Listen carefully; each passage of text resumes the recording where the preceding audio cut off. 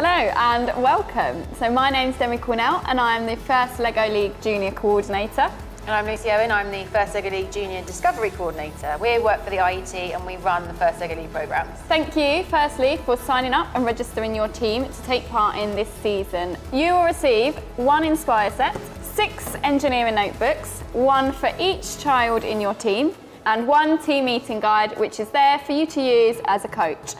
Now you don't have to use this religiously, it is there for you as a guidance, um, so use it as much or as little as you like. You're also going to need to get one of these Lego We-Dos. These are your programmable pieces that you're going to use throughout the programme as well. These are available on another Lego distributor website. So there are 12 sessions in total and using the team meeting guide you will work through each session as a team.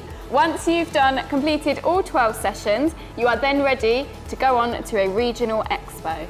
Now the Regional Expo, you're going to get your Lego model ready with some kind of moving element, but you're also going to have a lovely Show Me poster, which your team will showcase all of their learning, all of their research around the theme, and that goes along with you to your Regional Expo. Now don't worry if you think that your model is too big, as long as you can carry it in your hands, that's fine. Using the LEGO WeDo software, your robot needs to have one element that is programmed, like so.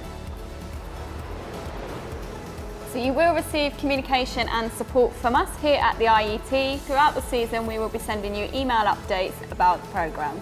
To find out more about our engineering notebooks and team meeting guides, click here. To find out about a regional expo, click here. And to find out about First LEGO League Junior Micro, click here.